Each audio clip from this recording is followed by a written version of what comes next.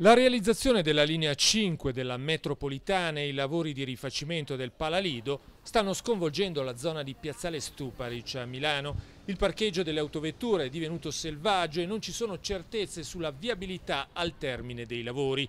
Hanno protestato i cittadini della zona che oggi hanno incontrato alcuni consiglieri comunali in occasione del sopralluogo della Commissione Ambiente di Palazzo Marino i residenti hanno chiesto la realizzazione di una piscina coperta e di palestre per il tempo libero e hanno fatto presente alcune gravi lacune come il parcheggio a ridosso del lido e i rifiuti accumulati a poca distanza. Delle, delle cose assolutamente assurde come i rifiuti a 50 metri dal, dalla piscina lido. Come, come diavolo si fa a pensare che igiene e sicurezza siano salvaguardate? Poi la cosa incredibile è che quando non c'è acqua quando la piscina non è utilizzata, tutto intorno vengono parcheggiate le auto. Si sa che le auto dai tubi di scappamento anche da ferme rilasciano delle cose non particolarmente buone e sono i posti dove poi la gente d'estate cammina a piedi nudi perché è una piscina. No? Sono tante cose da mettere a posto. Piano piano cercheremo di farlo e di farlo col buon senso, spendendo meno soldi possibile, però i problemi vanno risolti. Una grande amministrazione